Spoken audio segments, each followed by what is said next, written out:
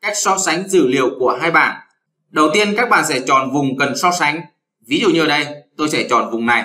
Sau đó chúng ta sẽ chọn Conditional Formatting. Sau đó chúng ta chọn New Rule. Chúng ta sử dụng dạng cuối cùng, sử dụng công thức để quyết định định dạng ô. Tại mục nhập công thức chúng ta sẽ click vào và chúng ta sẽ chọn ô đầu tiên của vùng cần so sánh.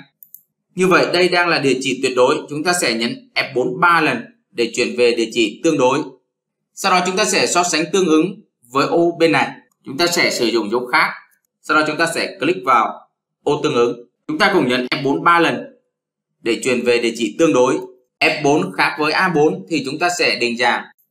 Ví dụ như ở đây tôi chọn định dạng màu nền. Sau đó tôi chọn fill, chọn màu đỏ chẳng hạn. Chọn OK. Chọn OK. Như vậy, những ô có dữ liệu khác nhau đã được bôi đỏ như ở đây.